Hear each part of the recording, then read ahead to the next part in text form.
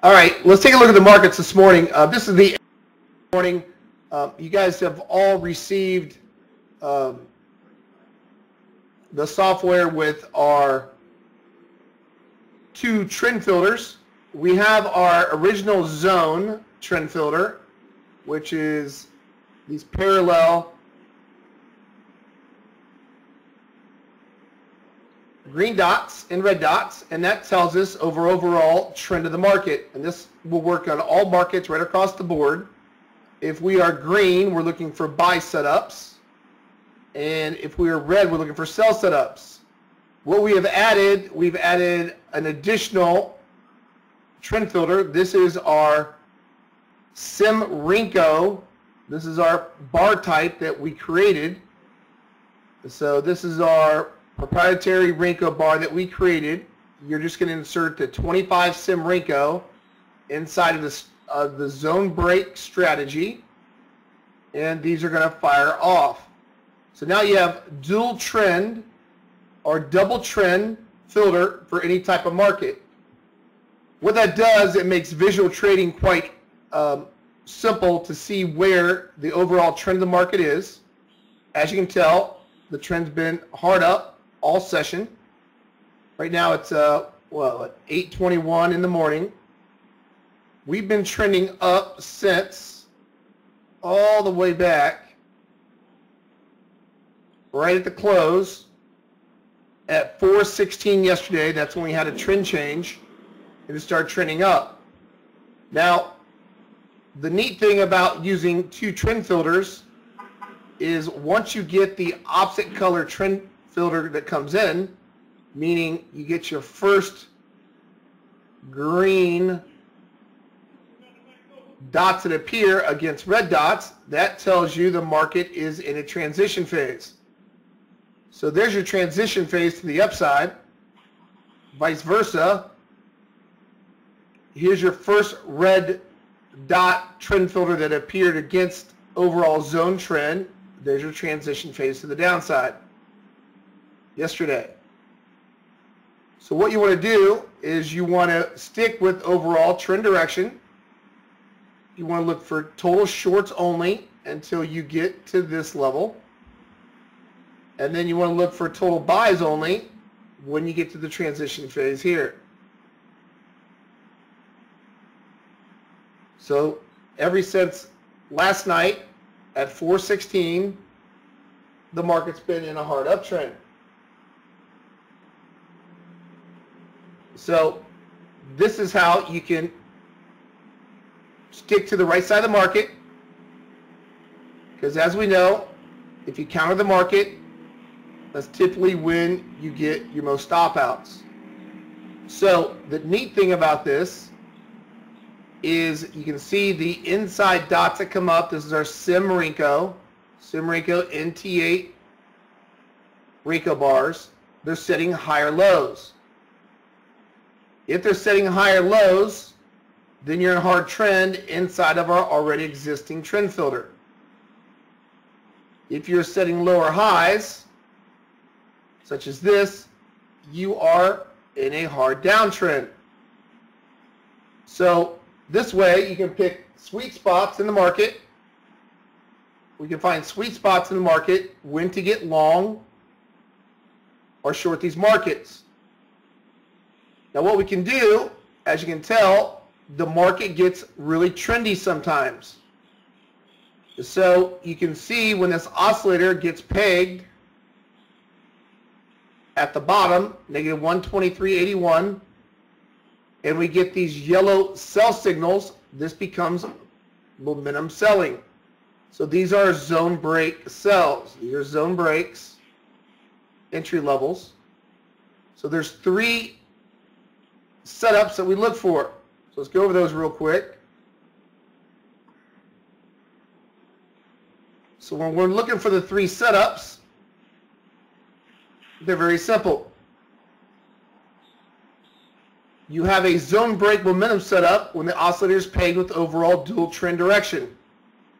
What that means is that's one of our setups, is that when this oscillator gets pegged in the direction of these dual trend filters, and these yellow candles appear, then you have sell setups. These are zone breaks with momentum. These are sell setups. Now you don't need a stop larger than the Renko size. If this is a 120-20 Renko, which it is, your stop is just going to be, initial stop is outside that Renko bar. That's your initial hard stop. So if you're trading the NASDAQ futures, you can increase your Renko size if you want to slow the market down. So if you use a 125, 25, you'd use your stop just outside that Renko size also. So that's your first overall setup you look with zone trend. That's momentum. When you get momentum in the market, you see these lower high dots appearing. Our yellow zone breaks start firing. That's a trade setup. Then we have a V-top set up with overall trend direction. What a V-top is, if the trend of the market is down, as soon as you get a retracement in the market with overall zone, so as you get a retracement in the market, if you get a reversal bar, a yellow zone break that comes up within three candles of that doji or hammer, the count starts after the hammer or doji. One, two, three. If it comes within three candles, you have what's called a V-top. That's a V-top in the market. So that's your second setup that you look for. So this is a V-top with overall trend direction. And these are momentum plays because your oscillator's pegged. Short, short, short, short. These are nice moves. So the entry would be below this candle of 97. Your stop would be outside the high of that candle. You can see the market just gets crushed on all these setups, especially the momentum, 93 and 3 quarters short, 90 and 3 quarters short, 86 and 3 quarters, 83 and a half, and so on. So that's your second overall setup. So you can use those with overall zone trend. Now, green green equals buy setups only, higher low dots, and red red equals sell setup. So if you are green green, green zone, green higher lows, You look for V bottoms, V bottom, there's a buy setup, goes within three candles, yellow, the yellow candle from the hammer doji. There's a V bottom. You can see these are the setups, V bottom, V bottom, V bottom, sorry. And these are momentum setups, momentum, momentum, momentum because the oscillator's peg. So for buy setups, you just do the opposite. There's your hard market buy set up, buy set up, V bottom, V bottom, V bottom, buy set up, buy set up. And then when you are trending to the other side on the downside, this is your transition phase when you get your opposite color dot that comes up. Opposite color dot comes up within the overall trend is telling you we are now going to have a transition phase to the downside and then we start the overall process. Very simple. V-top, V-top, and then we get to momentum, V-top, momentum. So you can see these first two setups really, really do well. V-top, momentum, momentum, momentum, momentum, momentum, momentum, momentum just gets cranked. V-top, momentum, momentum, momentum, and so on. So you repeat the process. This morning, we've had nothing but buy setups. If you look this morning, the traders have done quite well with the S&P all since midnight. We've had a V bottom here within three candles. There's a V bottom.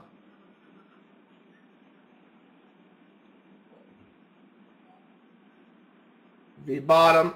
V bottom, V bottom, and so on, okay? So what we'll do, news just came out. We'll look for the, uh, we'll look for overall trend to see if it stays intact. Once you get the first red candle, we'll look for a possible reversal. What we have on this third setup, we've been in a hard uptrend all night. So what you want to do is you want to look for liquidity grabs. Liquidity grabs with zone direction. So this third chart's our third setup in the room. You'll see when the market grabs liquidity, taking out the counter trend traders, you will get a yellow candle in the direction of zone trend with the liquidity grab.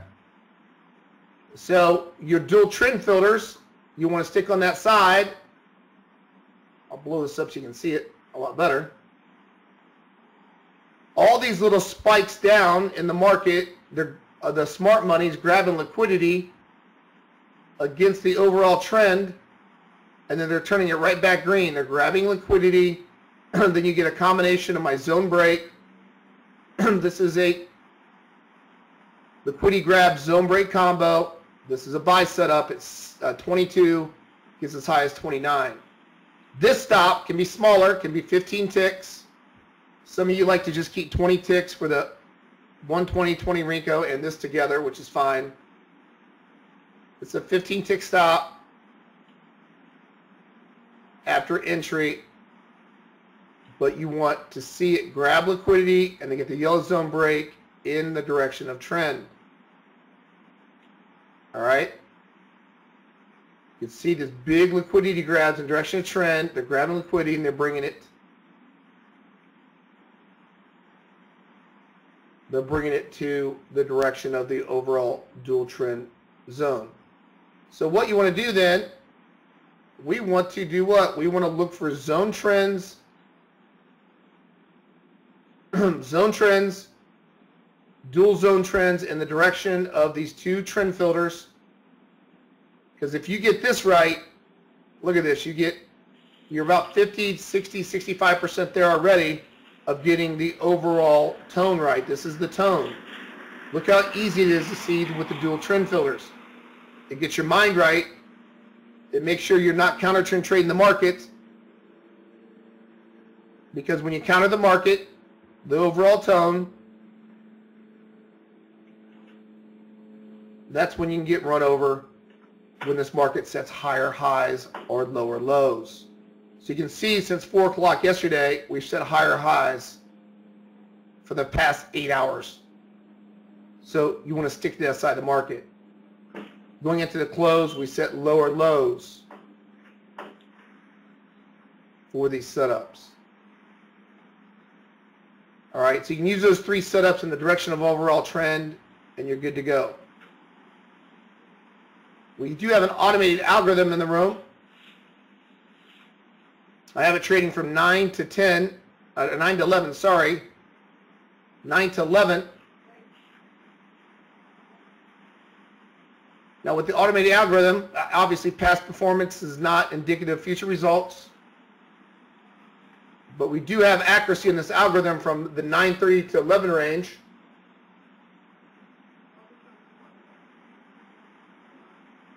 And what this algorithm does is it looks at overall liquidity grabs with, with overall zone breaks.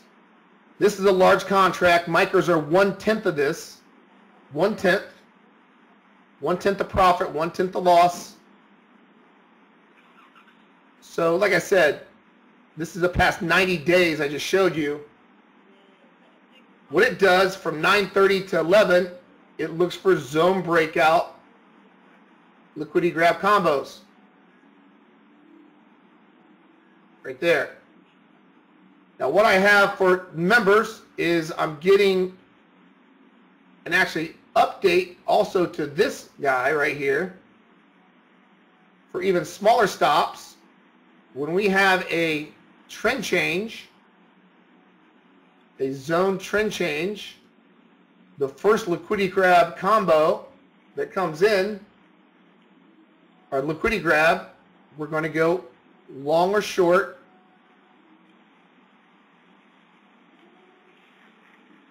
And get into these sustained moves of the pushes like this. So the first one we get on a liquidity grab, the algorithm will, will read it.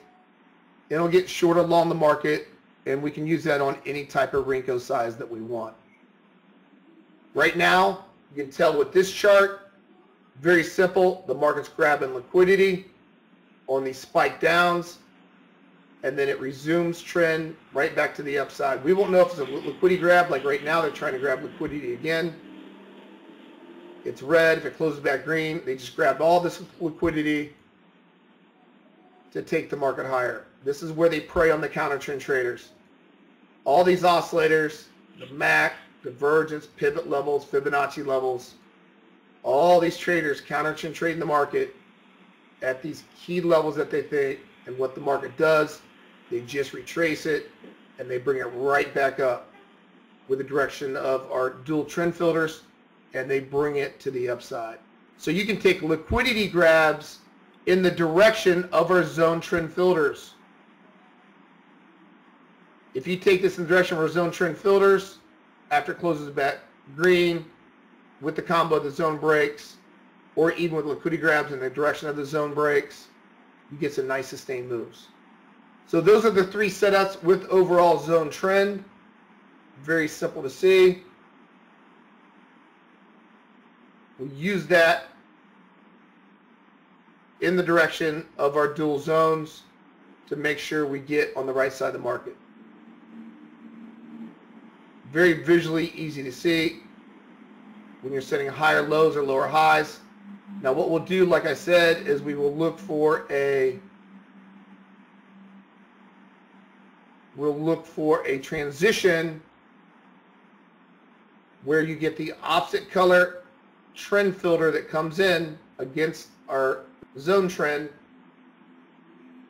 meaning our sim Renko, once it prints opposite color dots, that's a transition phase. That's going to be choppy until it gets out into the next trend. It will start setting higher lows. You'll right back into the cycle. These are how the cycles works and work in the market.